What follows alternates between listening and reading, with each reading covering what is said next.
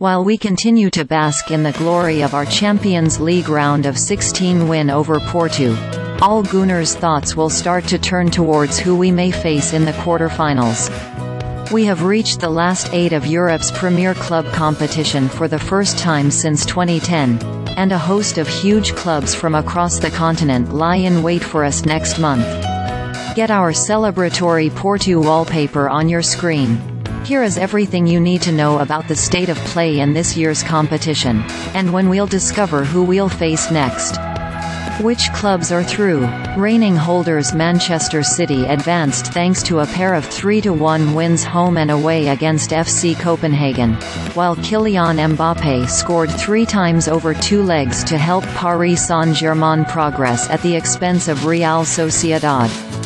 Bayern Munich overturned a 1-0 loss in Rome to beat Lazio 3-0 at the Allianz Arena with Harry Kane netting twice, and their former striker Robert Lewandowski scored in both matches as Barcelona beat Napoli. A win in Leipzig and a draw at the Bernabeu was enough to see 15-time champions Real Madrid also book their spot. Atletico Madrid also came from a 1-0 first leg loss to knock out last year's finalists Inter Milan on penalties, while Borussia Dortmund beat PSV Eindhoven 2-0 in the second leg to punch their ticket.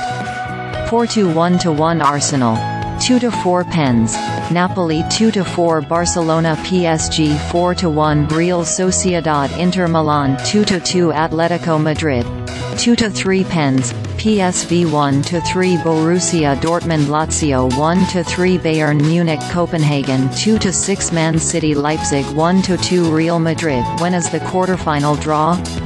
The draw will take place in Nyon, Switzerland on Friday, March 15 at 11 a.m. UK time. As well as the quarterfinals, the remainder of the competition will also be mapped out, including the semi-final and final draws, meaning we can work out which opponents we may face at each of those rounds should we continue to progress. Who could we face? The draw is an open one, meaning no seeding is taking place. Clubs from the same nation can play each other from this point, as well as those who faced off in the group stage. Basically, it is a completely open draw.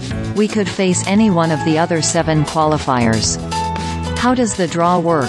The eight teams will be placed into a pot, and the first one drawn will have home advantage in the first leg, with the second being their opponents and hosts of the second leg. That fixture is designated as quarterfinal 1. The process is repeated until no teams remain. For the semi-final draw, each of the designated quarterfinal ties will be drawn against each other, with the first selection playing at home in the first leg.